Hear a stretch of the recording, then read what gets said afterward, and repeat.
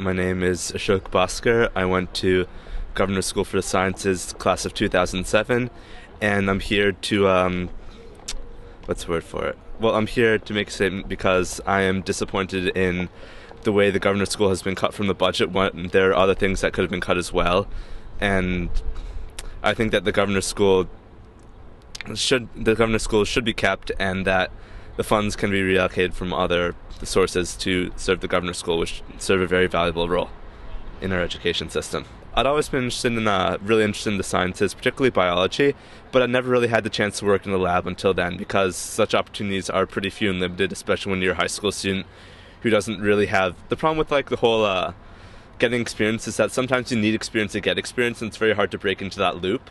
And the governor's school is a very good way for me to do that. I was able to understand what exactly it was like to work in a uh, a real fully stocked lab, and gave me just experience I never would have had otherwise.